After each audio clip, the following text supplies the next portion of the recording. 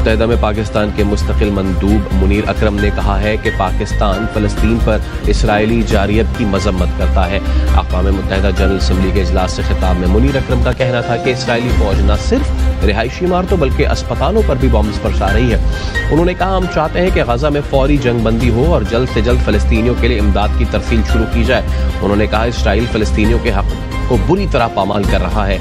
जो आलमी कवानीन की खुली खिलाफ वर्जी है उन्होंने कहा इसराइल फ़लस्तियों के हक को बुरी तरह पामाल कर रहा है unequivocally con- condemns the airstrikes and the systematic and barbaric crimes against the Palestinians, particularly the attacks on schools and residential buildings and even hospitals.